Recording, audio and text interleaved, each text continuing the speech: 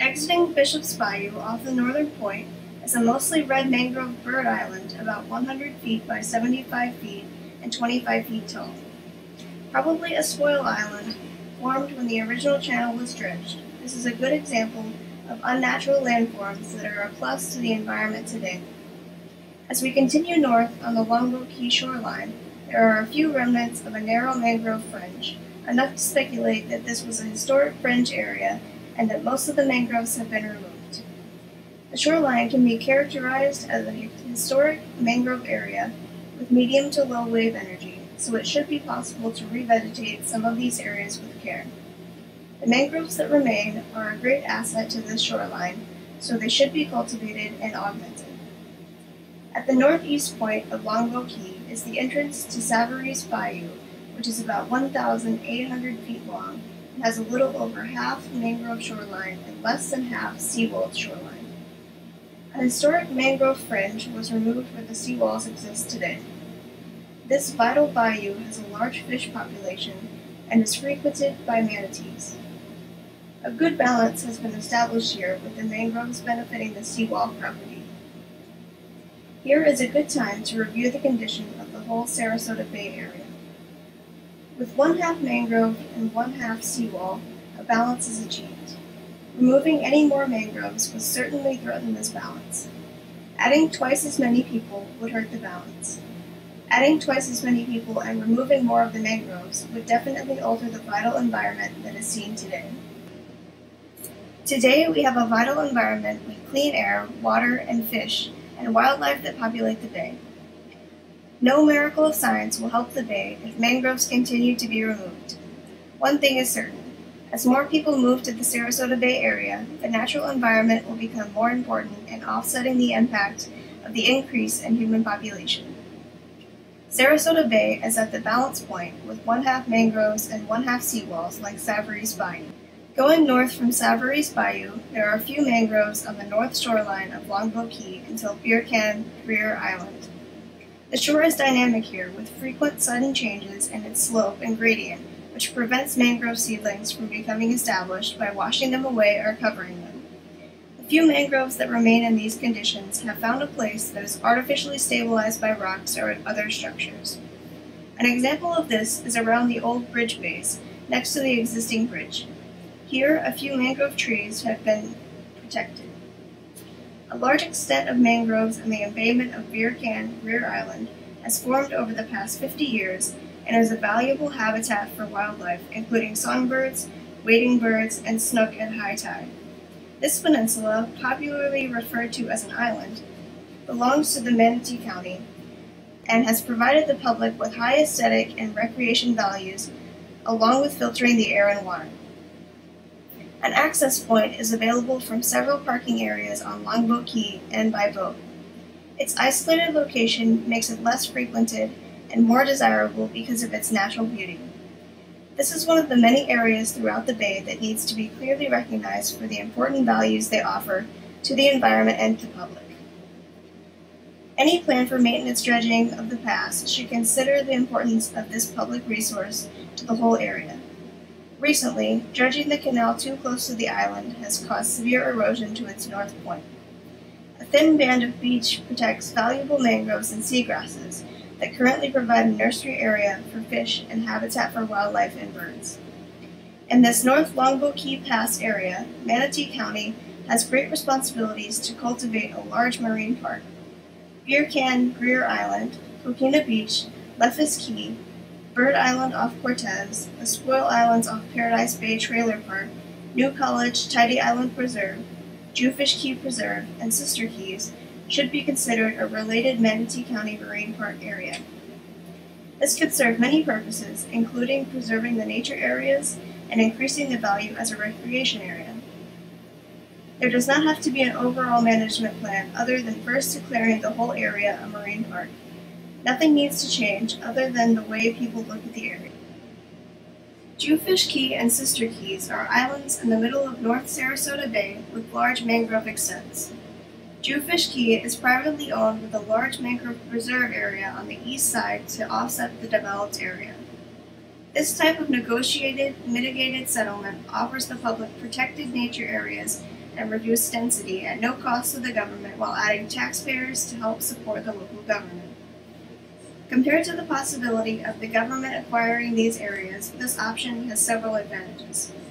Sister Keys is currently for sale by private owners and offers the alternatives of acquisition or negotiated density reduction, along with setting aside a large nature preserve. These two vital, healthy islands, an important asset to the Bay system, are the last mangrove areas on Sarasota Bay to be discussed in this survey.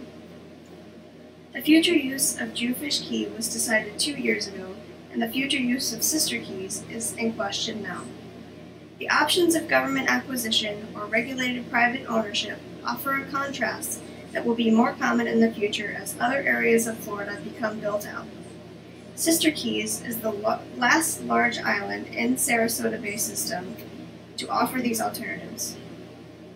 It will be valuable to weigh the advantages and disadvantages of regulation and acquisition using these two islands as examples. Jewfish Key was zoned and platted for 40 homes around 1954 by Manatee County.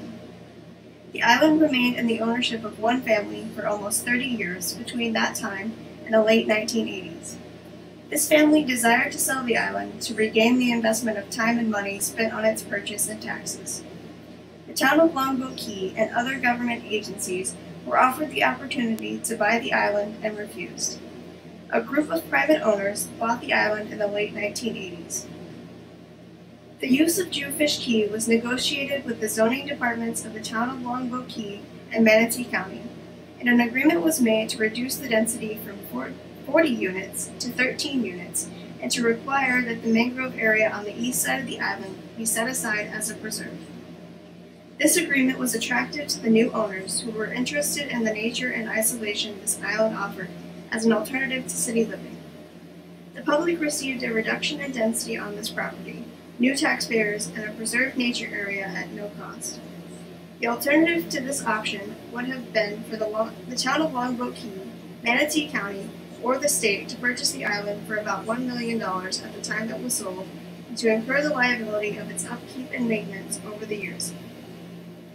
The large amount of exotic Australian pine trees on the upland interior, this maintenance could be costly. Some important questions concerning acquisition are what would the proposed public use of an island entail? Would the public use of an island include picnic tables and garbage cans with a park ranger or maintenance crews? Would the local or state government then be responsible for people who are bitten by raccoons or rattlesnakes? Would the government be responsible for removing the raccoons if they became a problem? Does the government want to assume all these responsibilities or just protect the natural environment? Sister Keys now is an example of this same dilemma with an island that is physically quite different from Jewfish Key. Sister Keys is south of Jewfish Key and two thirds to three fourths mangrove area. The two large upland areas are isolated from deep water by the shallow, fringing grass flats. These upland areas have become populated by endangered species, including sea oats and wire brush plant communities, with gopher tortoises in abundance. The development of these keys would be very restricted under current regulations, if it is possible at all. The alternative to limited, limited development would be the purchase of the island by state or local government. This would present the same problems considered for Jewfish Key. What kind of park would it be? Would there be a ranger, sanitation and garbage facilities, picnic tables, and other necessary improvements? What would the expense of maintaining the island and cost of the liability to the government be? All these are important considerations concerning buying sister keys for a park. Regulations that are already in place could preserve most of the island in its present state while allowing private owners to build one or a few houses in a way that would have little, if any, impact on the native vegetation of the island. Of the four keys, only the largest one can be built on. This island has less than one third upland that is not wetland and is mostly populated by endangered plant and animal species. What is apparent is that any home built on the island will need a deep water access point. The best place is on the east side of the north tip of the island, which has a protected deep water, over 3 feet access point, providing easy passage to the intracoastal waterway. Even at low tide, and is presently a favorite anchorage for pleasure boaters and people who are visiting the island by boat. Just upland of this spot is a large area of Australian pine trees that could be removed to provide space for one to five houses without having to affect any native trees or plants adversely. A negotiated settlement could offer a unique opportunity to one or more people to have a home site like none other in the area and to help save the natural environment. The local and state governments could facilitate this by offering easy permitting incentives for building a dock and houses in this way, and environmentalists should be happy to see the island secure. At no cost to the public, all of the goals of the conservationists can be met, and free enterprise can thrive. Creative planning and thinking can provide for our future public, private, and environmental needs. Mangrove areas are quite apart from this upland planning. Regardless of the upland plans, the mangrove should remain intact and unaltered. The Sister Keys has a large black mangrove forest on the southeast part of the main island and large detrital pond system which extends into the far interior.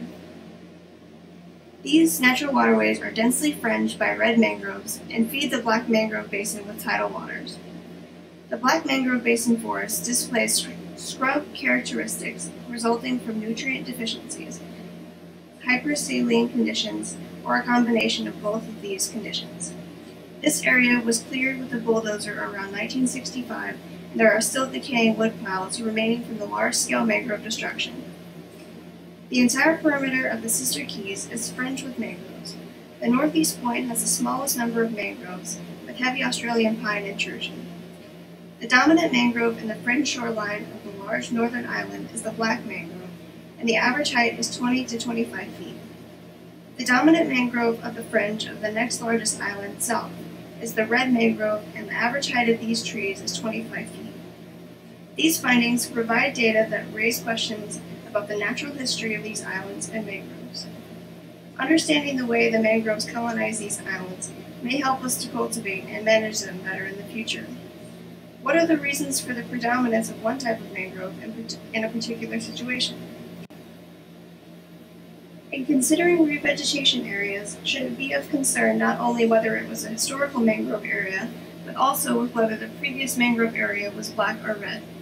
I have concluded this survey with the interface of the text and the mangrove map. Both the text and the mangrove map can be found in the thesis room at the New College J. Bancroft Cook Library. Both resources are meant to provide data that will present questions.